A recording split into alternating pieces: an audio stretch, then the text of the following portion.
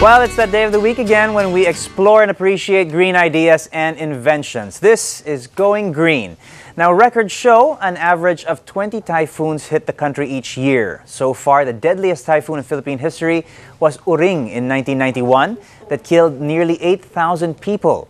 And the most expensive typhoon was Pepeng in 2007. That cost the country over 27 billion pesos. Meanwhile, according to the U.S. Geological Survey, some 1.45 million earthquakes shake us every year. That's 4,000 earthquakes a day, would you believe it, all over the world. Even though our country is often battered by storms and prone to landslides, earthquakes, and volcanic eruptions, well, we continue to be caught unprepared when natural calamities strike. Now, a powerhouse of eco designers went on a mission to find the greenest, most sustainable design for a disaster free home through a competition called DATE, or Design Against the Elements. Just what kind of house do you need to be disaster proof? Well, we're about to find out. Joining us this morning are architect Amado de Jesus, architect Romulo Nati, the winner of the Date Energy Design category, and Ms. Karen Ramos of San Miguel, who will make these designs a reality. Good morning, everybody. Good morning. morning. Thank you so much for joining us. I was, I was about to say, this is such a timely discussion. I mean, considering there's so much going on in the world. We've got this big earthquake in Christchurch. Uh, there's a lot of, uh, we're expecting some, some heavy flooding uh, come rainy season. What a, what a timely discussion. Uh, design against the elements. Uh, what's this all about? Karen? Okay, um, Design Against the Elements, it's a global architectural competition mm -hmm. uh, which aims to provide and build the first green, affordable, right. and disaster resilient community. Okay. And together with the United Architects of the Philippines, mm -hmm. we mm-hmm. have partnered with uh, Illac Diaz, the mm -hmm. proponent of DATE, to come mm-hmm. up with such competition. Okay, uh, why, why, uh, well, obviously, just as our intro stated, we seem to be li we've lived with disaster all our lives, and we do seem to have it in us to be able to prepare ourselves. Yet we seem to be constantly unprepared, and we seem to be constantly building things in a way which doesn't. Uh, prepare uh, which doesn't uh, prepare them for for disasters uh, why why now why have we finally woken up to this architect well that's exactly what the date competition is all about we want to break this this cycle, so right. you might say. There you go. And as um, um, Illac uh, Diaz mentioned, mm -hmm. the, so far the solutions have been band-aid approaches to right. the problem. Uh -huh. So with this, instead of uh, doing something after the disaster, mm -hmm. the mm-hmm. idea is somehow with the designs mm -hmm. coming out of the competition, there will be a, a preventive approach instead right. of just reacting after the typhoon. Right. Now, architect over here is considered to be, you know, the, the father of green architecture here in the Philippines. Um, what are some of the major considerations that you have to take in, well, into consideration when you do build with uh, preventing disasters in mind? And at the same time, you, you did mention some very important points also. Affordability, you know, sustainability. Yes. It has to be something that that can actually be achieved here in the Philippines given the type of conditions that we have, given the type of economy that we have? What are some of the con major considerations that need to be taken into First thing, you don't approach just the proper the structure itself.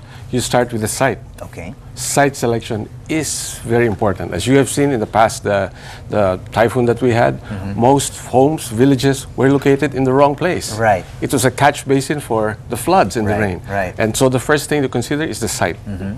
Then you consider, of course, the structure itself. Okay. Uh, the green features and of course how the people will react inside. And as I show you, it's very important how the members of the community um, bind together because mm -hmm. of the way it's designed. All right. That's all part of green. Now I wanted to ask uh, architect uh, Romulo over here, it, it's, uh, is, has it always been, uh, obviously architecture is, is, is, a passion for, for architects, but you know, green architecture, uh, architecture which uh, is built specifically to, to, to, deal with the kind of conditions that we live in today. Is that something that, that really drives you? Yes, of course, since the beginning.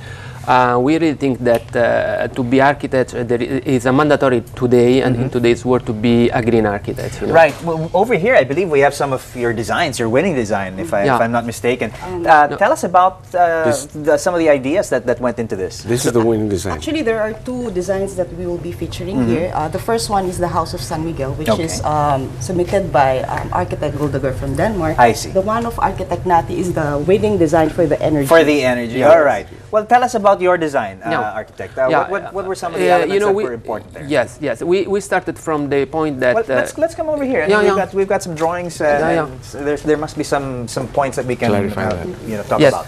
Uh, actually, uh, these uh, these uh, boards are not uh, they are not displaying our design. Right. These uh, There the, will be the some photos that Yes, Okay. the some photo in the digital format, Uh-huh. and maybe later I can explain. But by the way, we started from the point of view that uh, an architecture has to be financially sustainable before to be, uh, uh, let's say, eco-friendly. Because Uh-huh.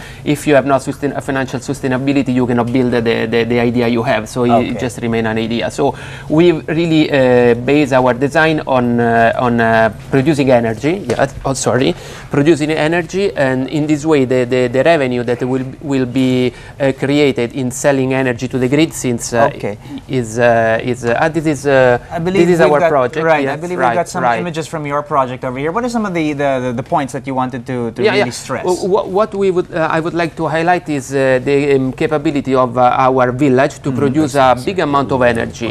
Uh, in this way, since in the Philippines you, uh, there, there is the social housing problem, but also you have a problem in uh, energy supply. Right. Uh, we wanted to solve uh, two, two problems in one single project. So in Mm-hmm. this way, we massively integrated solar, solar photovoltaic panels, which are becoming very affordable in the market, uh, Mm-hmm. to produce uh, a big amount of energy. In this way, we are going to sell the energy to the grid to get revenue. This revenue will contribute the construction of the entire village. In this way, the construction will be lower. So at the end, the selling price will be lower where to to give uh, houses to the let's say um, I don't want to say poor people, but to everybody. You're right, but but uh, the, the the approach here seems to be you know very large scale rather than taking like you said sort of a band aid solution to a, a large problem. We're really starting from the very beginning. We're designing an entire community, an entire village uh, to, to, to, to be more sustainable. Uh, So much so in the fact that we can actually generate an excess of, of energy that you can actually sell back Right. and, and, and plow Right. back into the system. Uh, right. You know, because very soon there will be implemented implemented in the Philippine a law of net metering. It means that if uh, your house will produce energy, you can use your energy, but you can sell the energy to the grid. At the end, you can buy the energy uh, to the grid because, for example, in the case of uh, photovoltaic panels, we can produce energy during mm, daytime, not in the night time. But if you uh, so that that amount of energy can be sold, uh, let's say, to factories, to the grid that will distribute the energy, and then in the night you can buy energy to the grid. It, at the end of the day, your bill will be, you know, a, a, a computation between what you sold and what you buy. All right, good stuff. Well, we've, we've seen, uh, we're looking at some of the images of Yep. your project over there, but we've also got some images uh, over here uh, of the House of San Miguel, which we briefly already touched on. Uh, can you tell us a little bit more about that, Karen? So architect Amado will be explaining the Alright. features of the House of San Miguel. Okay, the um, the winter office, uh, the uh, architect Guldager from Denmark, approached this in uh, three ways, starting with the site. Right. Uh, very a sensitive design approach to how they handle the site. S- They studied the slope so that they could collect the water in this uh, lowest portion of the site. Their, their approach was to handle water very well. The drainage system was very sophisticated.